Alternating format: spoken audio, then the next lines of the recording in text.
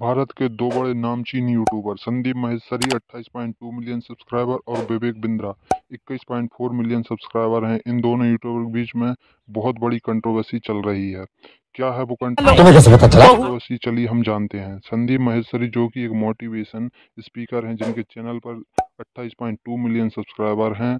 और जिन्होंने लेटेस्ट एक वीडियो डाला जिसमें हर रोज की तरह ही अपना ज्ञान दे रहे थे तभी दो चूतियों ने बताया हमारे साथ कोर्स के नाम पर स्कैम हुआ है। उन्होंने उस वीडियो में किसी का नाम भी नहीं लिया था। इंटरनेट पर वीडियो अपलोड करने के कुछ टाइम बाद संदीप महेश्वरी को धमकियों भरे कॉल और एसएमएस आने लगे। वीडियो डिलीट कर दो फिर संदीप महेश्वरी सर ने चैनल के कम्युनिटी पोस्ट में जो कोर्स को लेकर वो एक्चुअल में कुछ भी नहीं था उसमें। सब फेक था सब। चलो भैया कि वहाँ तुम्हें कस्टमर को जहाँ से मिले ना भले तुम झूठ बोलो तो। झूठ बोल के ला जहाँ से लेकिन लेन।